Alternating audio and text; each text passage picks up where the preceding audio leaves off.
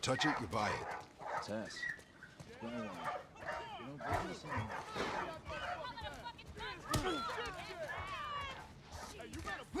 Where do you think you're going? Malik, sit back down. Oh, sorry, Tess. Didn't realize you two were together. Go ahead. Who's that? An old headache. Don't ask.